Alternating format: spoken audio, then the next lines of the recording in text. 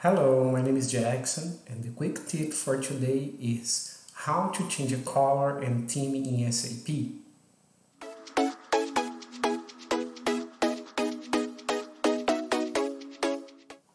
So this quick tip is very simple. I think the most of the consultants already know how to do this, but Sometimes for a user that's not so experienced in the systems, have no experience, this could be useful. But sometimes also some consultants never did or never seen this in a project or sometimes forget how to do this. Maybe this could use for the consultants as well. To change this, you can be inside the systems already logged or outside the systems, it's also possible. For example, uh, if you click in SAP Logon and go to this button and options, you can see here visual design and configuration for themes and define colors. For example, if you want to have a different color for each client or for each environment, so sometimes you are navigating in the development, in the quality, analyzing also issue in production. So you have three different environments and you don't want to change directly something production by accident because you have many screens open at the same time and you can separate by color. You can highlight with different color each environment. So just click here in this button, customize layout options. And here you can see the colors, color settings. And you can choose the color settings for your environment. For example, I always put red in the production environment, green in the quality, I put the default configuration in the development. So I can always identify easily which environment I'm working in at this moment.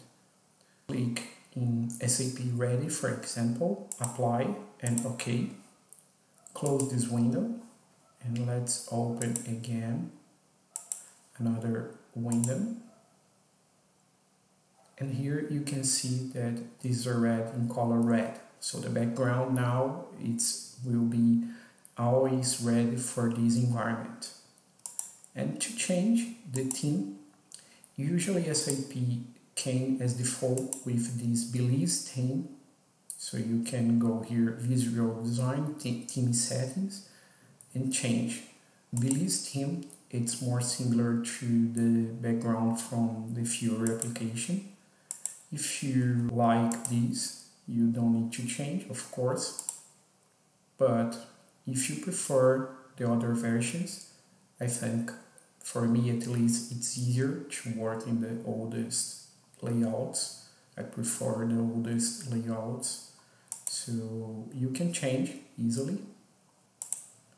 You can choose others, like you can go to more SAP GUI settings and actions, options again, theme settings, and for example let's see this blue crystal theme apply okay.